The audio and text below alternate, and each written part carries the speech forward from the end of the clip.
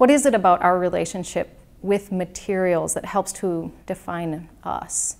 Is there a kind of ethic involved in our relationship to materials? Is there something that we can learn about ourselves through these poetic transformations? What happened as soon as I started investigating art with a capital A um, was that I, I recognized um, what an affinity I had for those types of questions. I grew up in a, in a small town, small farm town actually, grew up on a dairy farm in northern Wisconsin, and um, very small community, something like 400 people. And so there was um, a certain kind of focus on the um, utility of things.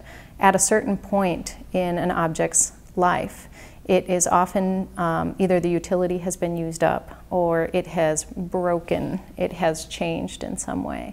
And it is at that transformative moment that it goes from having a really specific definition or identity to having this kind of being part of this general category, which is uh, often referred to as waste. Part of the reason that I think that we have some of the um, environmental problems that we have in terms of material surplus and waste is because we, we have lost the imagination.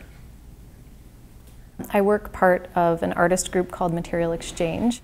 We're really interested in that opening moment, this, this potential for a thing to uh, change its identity.